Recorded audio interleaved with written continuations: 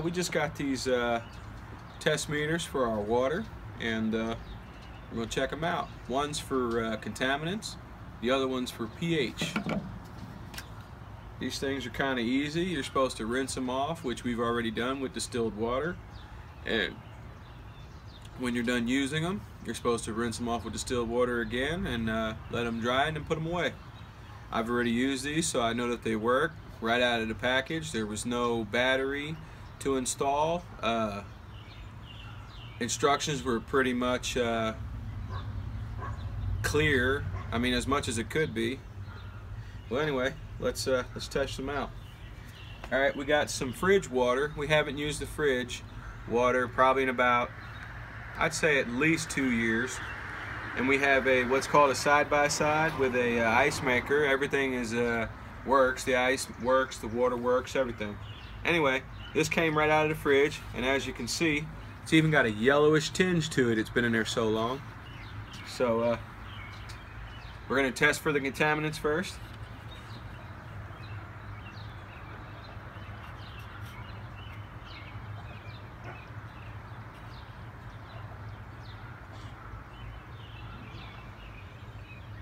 It's right around 263, 264. Uh, when you submerge this, they say that you're not supposed to submerge it past the submergible line. Well, in the instructions, I couldn't find any place or anywhere on the device where it's a uh, any type of indicator of a line. So I just basically go by this, and I mean that's the best that I can do since that's where the electrode is. So anyway, that was fridge water.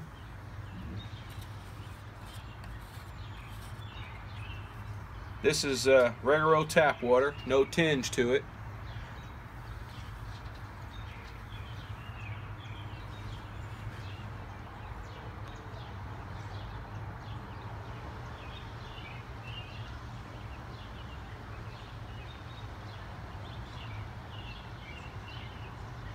Tap water at 138. And this is tap water down here in Evansville, Indiana in the 47712 zip code. This is uh, bottled spring water, uh, Walmart brand.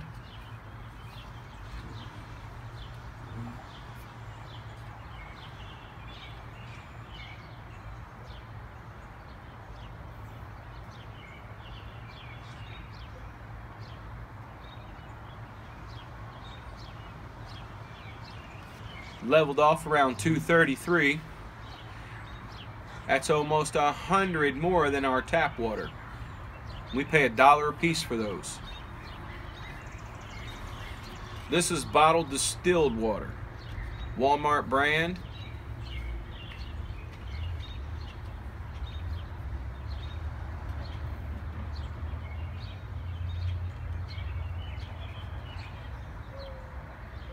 This comes in at 50.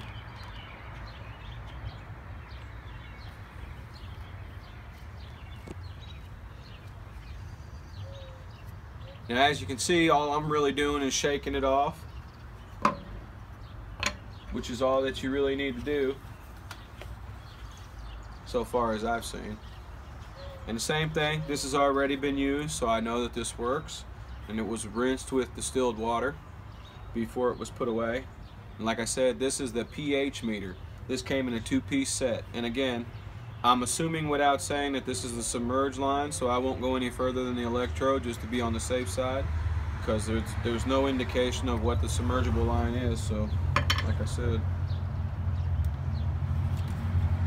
Now pH, 7 is neutral, and if I'm not mistaken, 14 is the highest alkaline that you can have. Uh, bottled spring water first.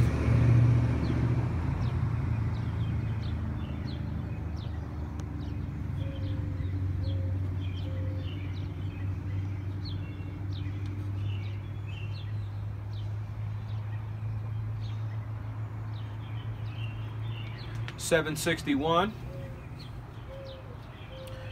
bottled distilled water.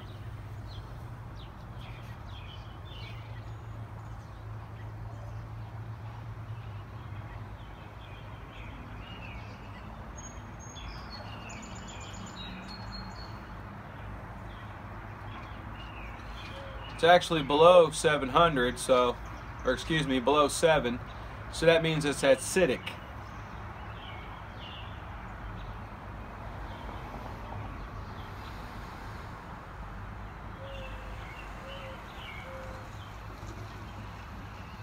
It's already below 600 and it just keeps going. I'm just going to go ahead and say it's about 550. That's distilled water. This is the fridge water that comes from the tap that's been sitting around for about two years.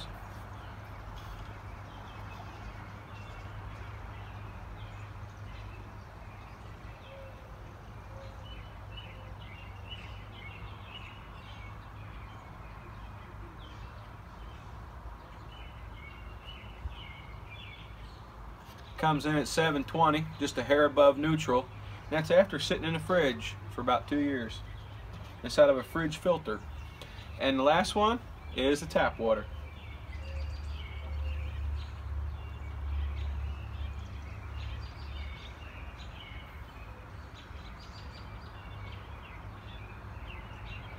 Right in about 751.